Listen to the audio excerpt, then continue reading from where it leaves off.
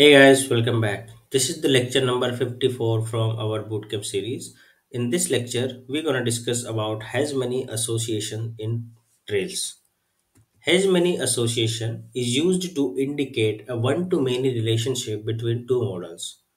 To implement this association, we need to use has many macro into the model which we want to use as parent model. And has many is always used inside the model which is treated as the parent model. And the other model which can be considered a child model must have belongs to macro defined in it. This has one and belongs to combination forms a one to many relationship between two models. Now, the has many associations indicates a one-to-many connection with uh, another model and each instance of the model has zero or more instances of another model. What is the meaning of here like uh, zero or more instances of another model? For example, as we discussed in the last video that uh, every post can have multiple comments but it is also possible that nobody no post can have any comments. For example if you have posted something and nobody has uh, provided any comment on that in that case your post model has zero comments. But it is also possible that there are n users who are commenting on that post. It means that the post also has multiple comments. So the model, which is defining has many association, can have zero or more instances of another model or its child model. Okay, so for this, uh, to understand this has many association, let's look at an example here. Uh, you can see the code snippet at my screen that uh, we have two active record models, post and comments. Okay, where post has defined has many comments and comment belongs to post we will see uh, about the belongs to association in the next lecture. Uh, but for the reference or for to better understand the example we are using post and belongs to here. Sorry post and comment model with one to many implementation here.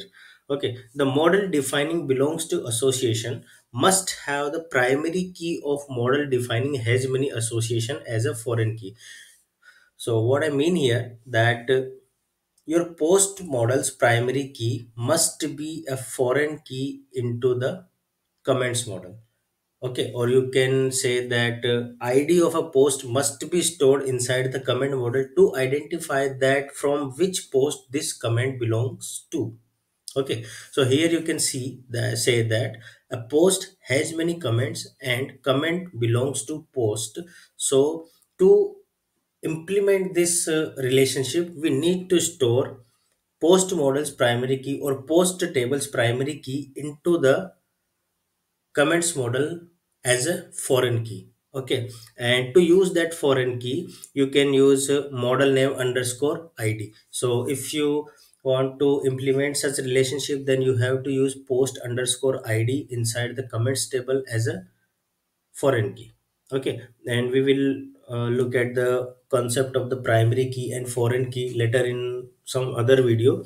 But uh, for now just keep in mind that to implement uh, a one to many association you need to use has many in the parent model and belongs to in the child model. And then id of the parent table must be stored as a foreign key inside the child table. Okay? So that's all about the uh, briefly we define here about has many association. In the next lecture, we will look at belongs to model which is required along with has many to form a one to many relationship between two real world entities or two active record models. Okay, so we will look at the belongs to association inside uh, into the next lecture uh, okay and we will also implement a one-to-many relationship between a student and a blog model okay so that's all from this lecture. Let's meet into the next lecture which belongs to association and implementation of one-to-many relationships. Thanks for watching this. Till then tata. Goodbye. Take care and stay safe